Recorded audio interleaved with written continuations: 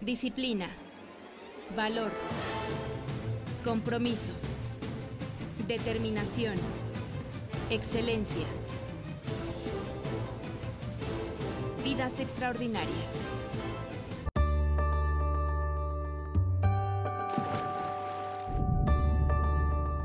No siempre hay que ser el número uno ni que la gente te reconozca. Si uno quiere, uno puede.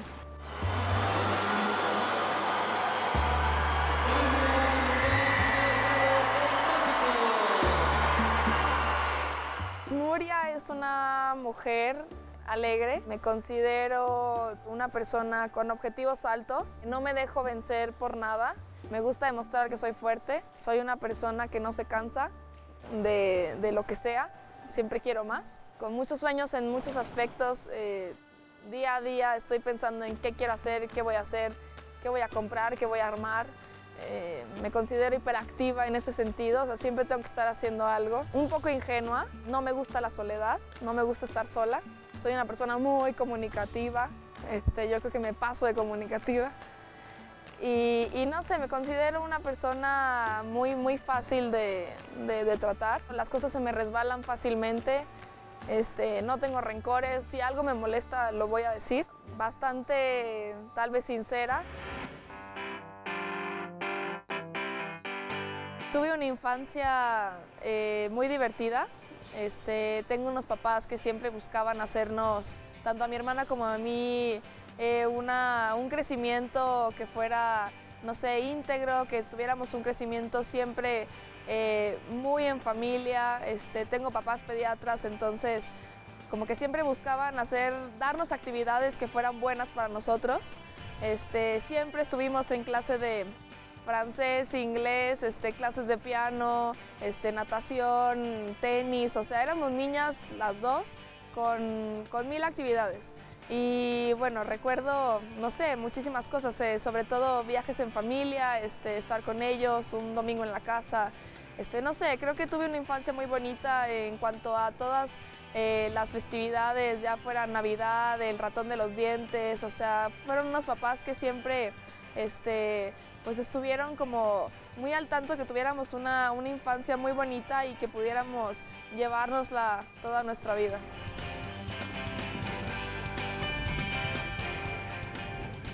Yo ya estaba en natación desde que tengo, no sé, ocho meses, un año de edad.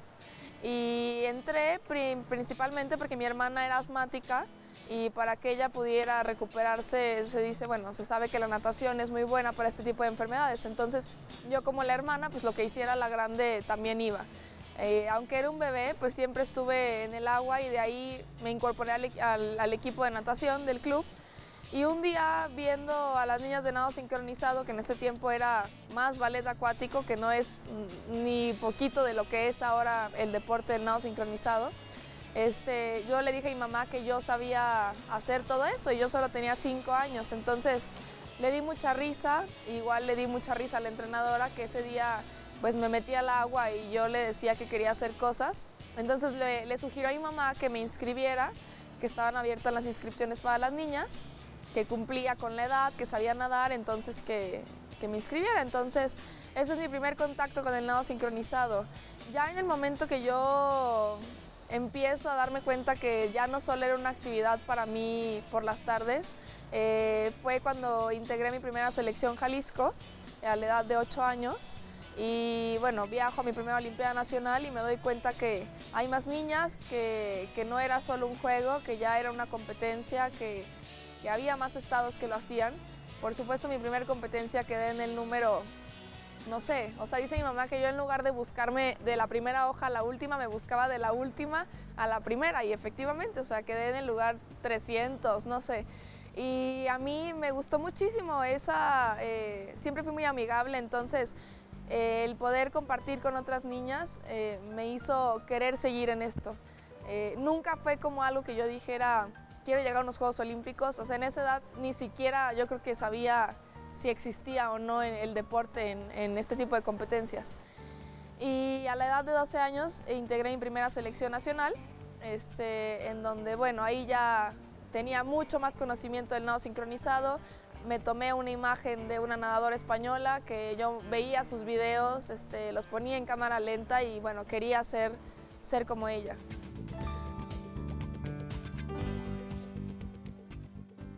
Lo que hoy en día me hace seguir adelante y desde la primera selección nacional que integré yo creo, eh, siempre han sido que, que, me encanta mi deporte, eh, creo que, que, no sé, me he encontrado con muchos obstáculos, con muchas dificultades y que todas las he ido superando, entonces, eh, no sé, yo también creo que dentro de mi manera extrovertida, a veces un poco ingenua, este, tengo un tanto de esta obsesividad que, me han heredado mis papás. No dejo las cosas este, a medias y, si estoy aquí o estoy en algún lugar es para hacer las cosas bien este, y, hacerlas pues con gusto. No, nada que no, que no te guste te va a salir bien.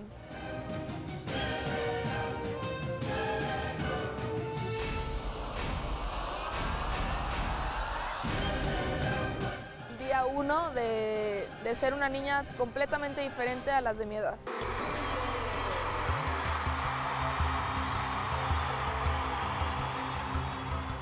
Mi primer competencia internacional con la selección nacional mayor, este, porque tuve previas en categorías infantiles y juveniles, ya en la categoría mayor fue en el 2005, este, cuando yo decido venirme a la Ciudad de México, dejar mi casa en Guadalajara e integrarme a, este equipo.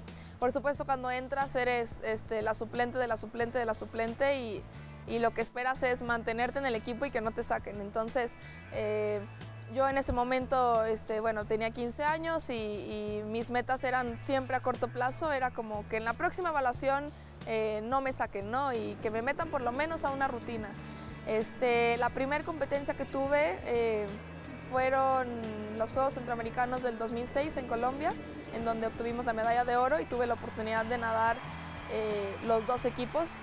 obviamente no pertenecía ni, ni, al, ni al solo ni al dueto, pero bueno, desde mi primer año integré el equipo nacional y esa fue la primera competencia, entonces para mí fue muy motivante saber que, que habíamos ganado y que, era un equipo fuerte, con niñas de todas las edades y que a pesar de eso habíamos hecho ya este, pues una amistad, este, no sé, había igual que ahorita desde 24, 25 años hasta los 16, 15 años y a pesar de eso pues yo me sentí muy, muy acogida, muy cómoda y, bueno, obviamente las metas se elevan en el momento que, que te empieza a ir bien, este, quise seguir en esto.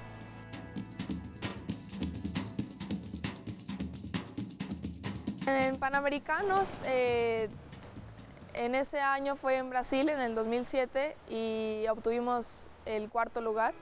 Este, a pesar de eso, pues me sentía muy orgullosa de, lo que estábamos haciendo. Este, no hemos tenido muy buena suerte en los dos Panamericanos que he tenido, 2007 y 2011. Han sido eh, espinitas que se nos van quedando este, muy, muy clavadas y por lo mismo este año es tan importante para nosotras porque sabemos el compromiso que se viene. Varias del equipo hemos vivido los dos Panamericanos pasados, entonces no queremos eh, seguir con esa espinita. Sabemos que ahorita el equipo está mucho más reforzado y pues queremos eh, sacar a, todos del podio y este, tenemos ya todo para, para, para hacerlo, entonces Sabemos que no se va a repetir lo, que sucedió en el 2007. Era un equipo, por supuesto, mucho más joven, era un equipo muy poco trabajado, a diferencia del ahorita. Entonces, ahorita prácticamente tenemos eh, todas las de ganar para, para este Panamericano.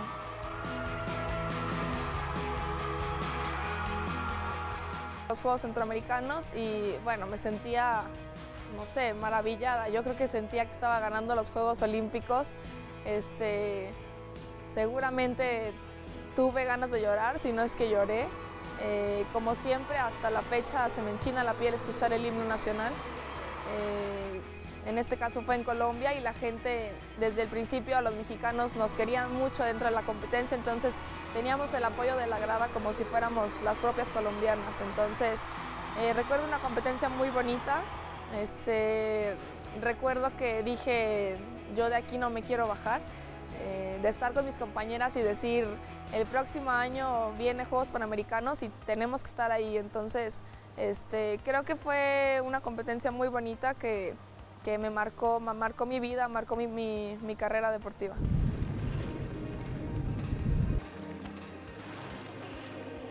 Concluir eh, mi, mi rutina en los Juegos Centroamericanos pasados, en la individual sobre todo, y más el primer día de competencias que yo abrí con el solo técnico, o sea, fue la primera competencia que se hizo de nado sincronizado.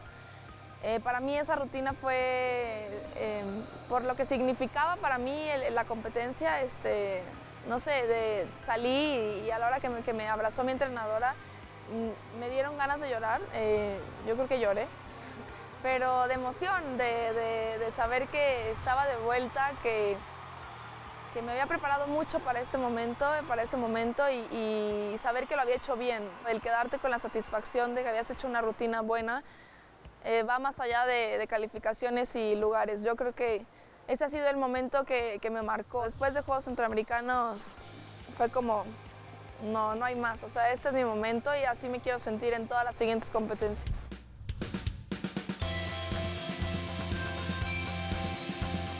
No hay manera más fácil de, madurar que, eh, vaya, tanto puedes madurar como te puedes quedar ahí. Y yo creo que en mi caso este, las situaciones difíciles han sido lo que me han llevado a, salir adelante, a madurar de la noche a la mañana, empezando desde el día que me vine a vivir a México y, y dejé a mi familia en Guadalajara, o sea que a los 15 años me hice completamente independiente. Yo creo que desde ahí fue el día uno de, ser una niña completamente diferente a las de mi edad. Eh, después de eso, entrenamientos, regaños, estar fuera de casa, este, viajar, eh, no sé, tal vez hasta perder un pasaporte y no tener a mis papás. O sea, ha habido muchas cosas que, que tal vez una niña de tu edad no las vive y por estar en el deporte, por estar en este tipo de, vida que al final uno elige y que no la cambiaría por nada, este, son las cosas que, me han hecho madurar. Obviamente ya en lo deportivo, pues ver lo que hemos hecho, lo que podemos hacer, este, me hace, no sé, tener metas, objetivos, eh, tener una vida muy, no sé, creo que decidida, o sea, sé a dónde quiero ir, eh, no titubeo y creo que eso es algo que, me ha caracterizado, este, no sé, como, como la Nuria que, soy.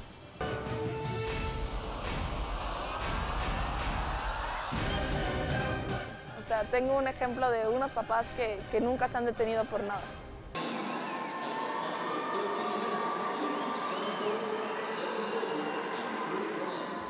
Siempre ha trabajado día, noche, madrugada. Eh, 24 por 7 este, y siempre con el fin de darnos lo mejor, este, que a pesar de que está cansado y que, que yo lo veo irse en la madrugada y atender partos y la cesárea y la consulta, él este, siempre lo que hace es para, para darnos una vida mejor.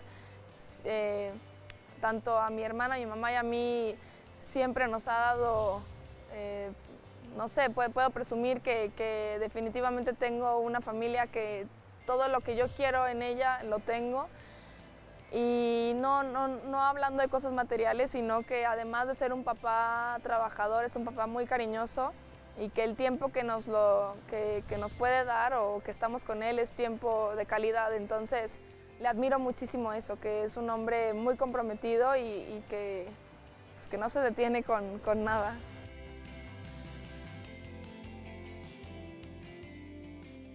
Mi mamá es un ser hermoso, mi mamá es todo bondad, todo cariño, este, también es doctora, súper trabajadora.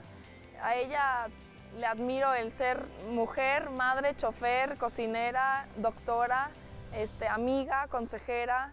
Eh, no, todas sus amigas veo cómo la buscan porque siempre tiene las palabras perfectas para decirte. Este, a mí como mamá el saber que a la vez de, de, las, de todos los otros trabajos que tenía con mi hermana y conmigo, además este, pues nunca dejó su profesión.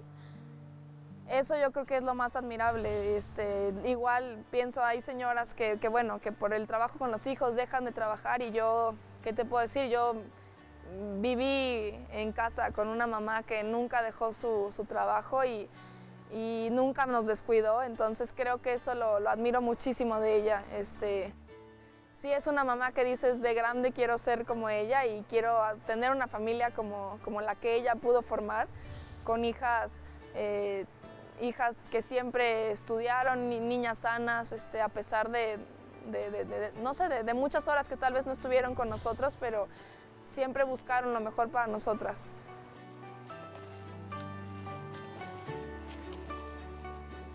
A mí más que nadie me, no puedo nunca decir es que no puedo porque, o sea, tengo un ejemplo de unos papás que, que nunca se han detenido por nada.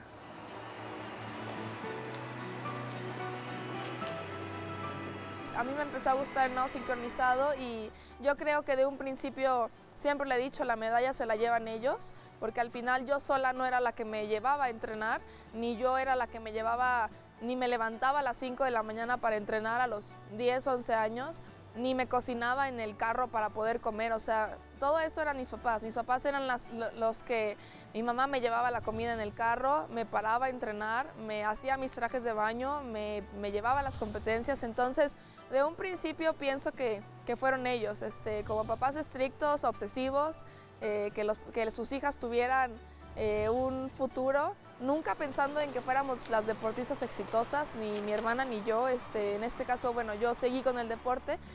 Eh, ellos lo veían más como por el hecho de, de que viviéramos una vida sana y, tuviéramos este, pues, cosas buenas que hacer. Este, en el momento que ven que empiezo a destacar, pues qué mejor que apoyarme hasta, hasta donde yo quisiera.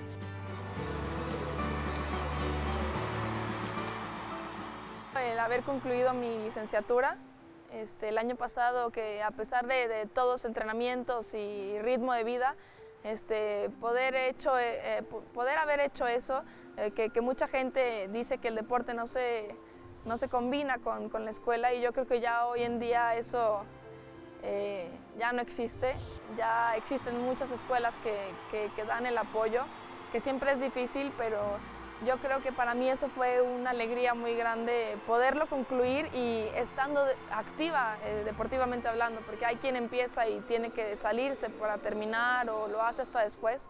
Y yo en mi, en mi año más difícil, en el año con más entrenamiento, este, pude, ter, pude terminar. Entonces yo creo que eso ha sido una alegría muy grande este, que, que, tal vez nunca creí que, que, fuera así, este, que dentro del deporte yo, yo pudiera concluir una carrera.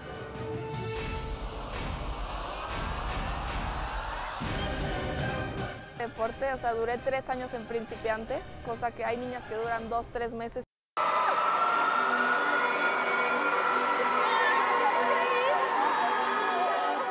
Vengo de una familia que siempre mis papás nos han inculcado si empezaste algo, termínalo. Eh, y siempre con, vaya, son papás exigentes, eso no, no, quiere decir que hayan sido papás este, duros, estrictos, malos, no. O sea, papás exigentes, sí estrictos, siempre muy comprensibles y nos enseñaron que siempre si algo te gusta y si quieres algo, eh, tienes que luchar para conseguirlo.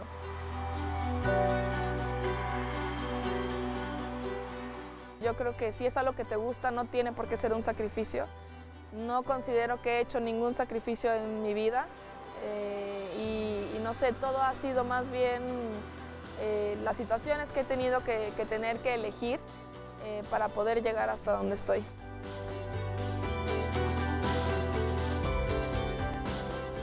La fuerza, la más importante, sale del corazón y, y yo creo que las ganas de, salir adelante más allá de entrenamientos y, todo el cuerpo disciplinario que pueda estar alrededor eh, tuyo. Si no tienes esas ganas, si no tienes esa fuerza, eh, no, no, lo vas a dar ni lo vas a demostrar. Entonces yo creo que, un corazón grande, un corazón con muchas ganas de, salir adelante es, lo, que, lo que te impulsa a, a dar esa imagen de, de que parece que no, que no pasa nada.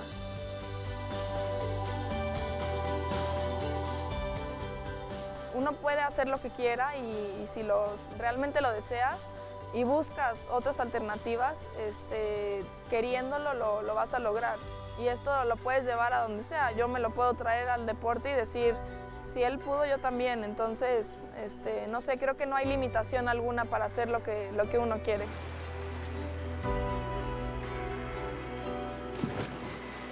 Mi valor, el, principal y el que rige mi vida es el, la gratitud. Este, siempre estar agradecidos con todas las personas. Este, creo que es algo que, que, he aprendido en todos estos años y, y me ha ayudado muchísimo. Este, el respeto, el respeto creo que ha sido dentro del equipo de trabajo ser respetuosas entre nosotras, estar siempre eh, unidas, querernos, eh, cuidarnos unas a las otras.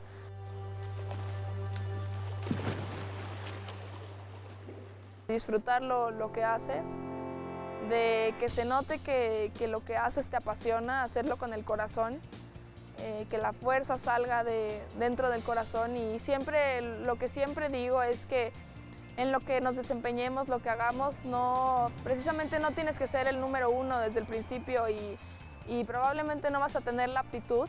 Y todo el mundo te va a decir que no tienes aptitudes para, para el deporte, para el trabajo, para el puesto, pero si uno tiene actitud va a poder llegar hasta donde uno quiera. Entonces yo con, confío muchísimo en que la aptitud eh, es mucho menos que la actitud y en mi caso así fue, o sea, yo no tenía nada de, de de habilidad para este deporte. O sea, duré tres años en principiantes, cosa que hay niñas que duran dos, tres meses y pasan al, primer nivel. Y yo realmente no tenía aptitudes, además que no tenía mucho interés. Para mí era un juego. Y el trabajo me fue dando las bases, me fue desarrollando aptitudes para este, para este deporte. Entonces, este, pienso que eso es algo muy importante, que no que no siempre hay que ser el número uno ni, ni, que la gente te reconozca. Este, si uno quiere, uno puede.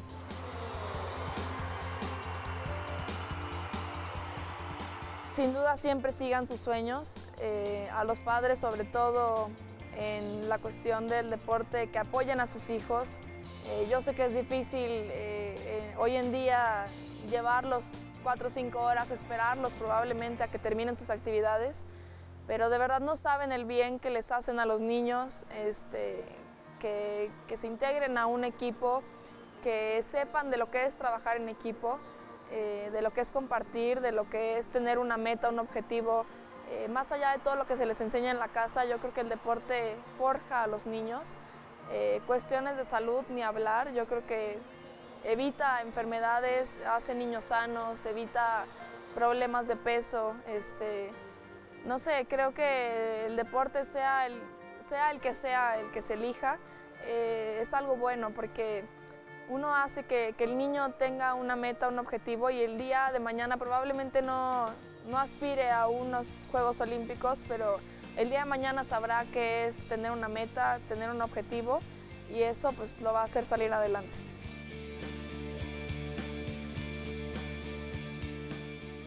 Los obstáculos grandes son para las personas grandes, entonces eh, lo que me suceda y así yo piense que es algo que me va a desmoronar, tomarlo con la mayor gratitud, eh, con el agradecimiento a quien sea, quien me lo haya mandado, el creador, la vida, el, la persona de al lado.